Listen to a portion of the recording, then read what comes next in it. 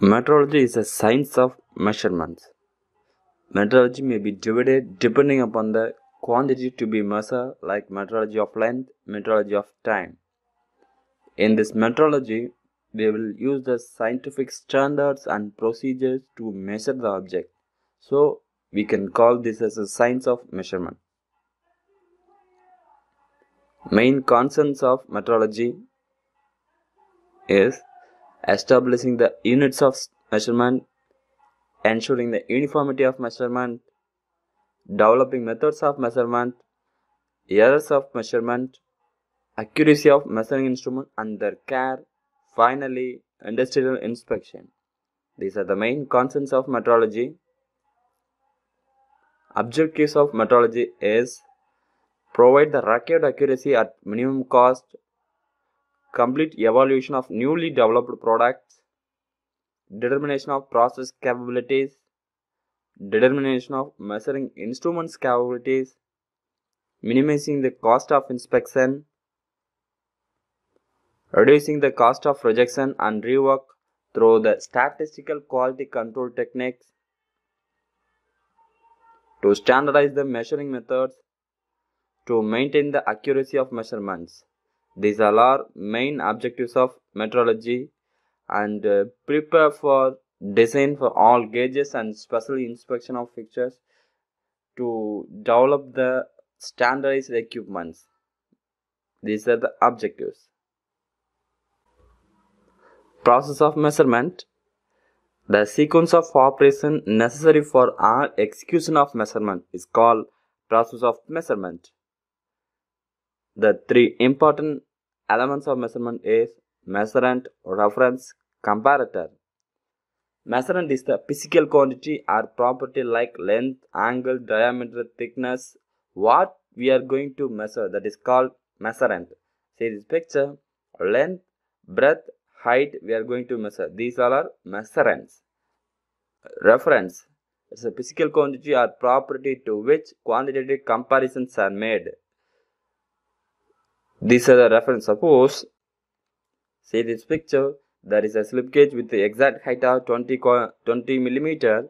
We would like to compare the, we measure the object here, we need to compare with the reference because this reference is a highly accurate machined piece.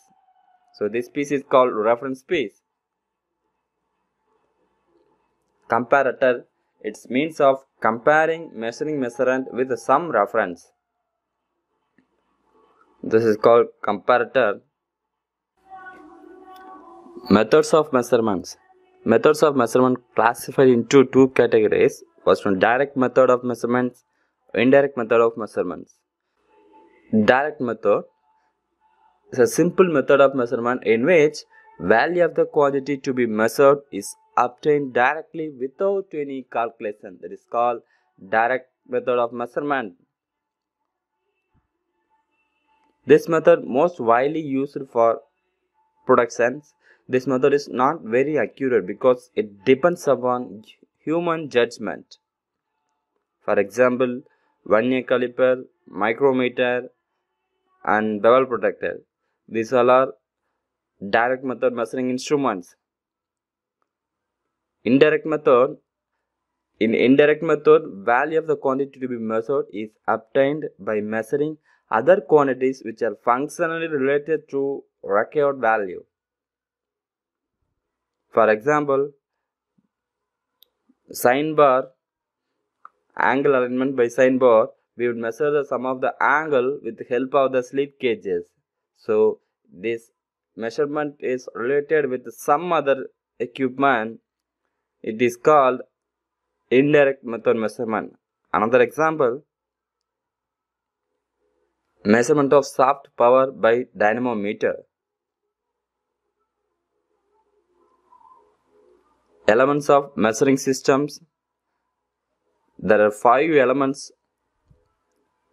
standard, workpiece, instrument, person and environment. These are the five elements of measuring system. The basic element starts from the standard without which we cannot measure the object. Once the standard is chosen, we have to select the workpiece, then select the instrument, then measurement should be performed under a standard environment. Finally, a person or mechanism should be involved to measure the object. Thank you. Thanks for watching. Subscribe and share with your friends. Thank you.